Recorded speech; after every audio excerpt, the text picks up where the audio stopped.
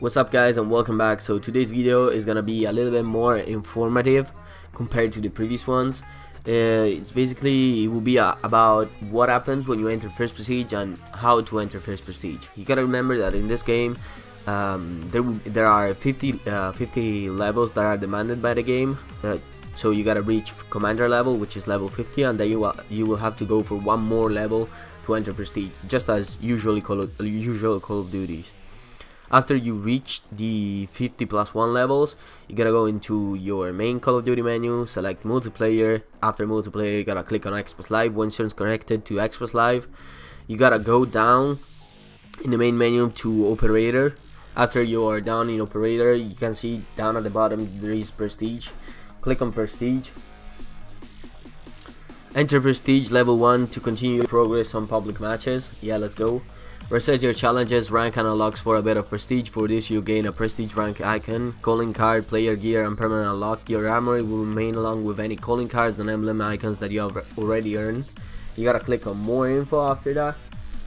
Everything you've unlocked including weapons, experience and challenges will be reset. You'll have to rank up to reacquire them. Only your calling cards, emblem icons, weapon challenges and armory items will be unaffected. Choose a permanent unlock right now I was kind of really really undecided on which permanent lock to the, to go for. As you can see you can choose from any anything that you can pick in the pick for pick 13 system including score streaks.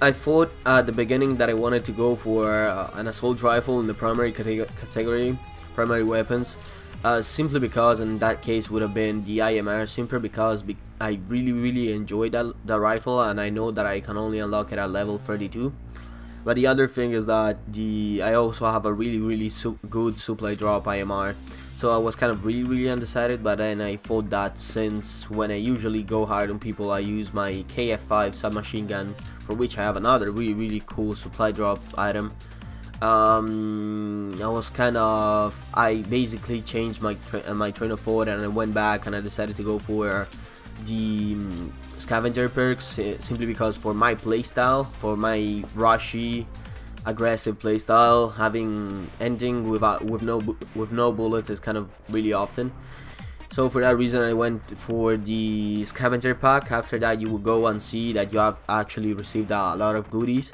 You will receive the sentinel recon gloves sentinel recon pants sentinel recon loadout sentinel recon boots sentinel recon skin guards sentinel recon shirt sentinel recon knee pads and the last two are the nicest one the sentinel recon mask and the sentinel recon exo yeah but that's it for today's video. I really appreciate you guys stopping by. Um, I am no pro player whatsoever. I don't like to pub stomp that much. I just like to have fun. My KD is pretty low as my win-loss ratio as you can see there in the screen but you know I just have fun. See you guys in the next one. Bye bye